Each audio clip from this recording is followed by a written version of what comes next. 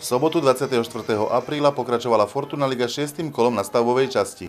V skupine o udržanie privítali futbalisti Senice na domácom trávniku hostí z Michaloviec, ktorí sa predstavili pod vedením bývalého senického trénera Antona Šoltisa.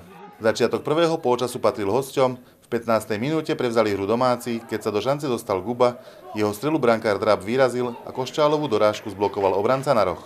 Mústva si vypracovali niekoľko ďalších šancí, prvá sa ujala v 29. minúte, keď skóroval Popovič a hostia viedli 1-0. Domácim sa podarilo do konca prvého polčasu vyrovnať vďaka Asanovičovi v 42. minúte.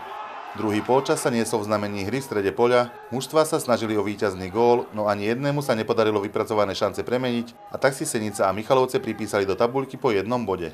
Tak ten prvý polčas e, z našej strany sa týka hernej kvality, bol v poriadku, odpatril nám, potom na chvíľočku prebral uh, opraty v zápase toho prvého polčasu super. Uh, boli sme pripravení na tie nakupávané lopty na Tomáša Maleca, aj na tie, vedeli sme, že budú nepríjemné v štandardných situáciách. Samozrejme, super je to strašne silný a to dneska aj potvrdil, aj keď sme sa na to pripravovali.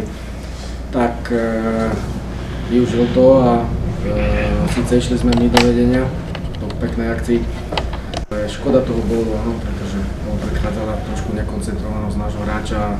Dali, darovali sme im ľahký rok, čo sme povedali, že superovi nemôžeme ľahko darovať štandardné situácie, pretože je v tom silný, ale robili sme chybičku, super to využil.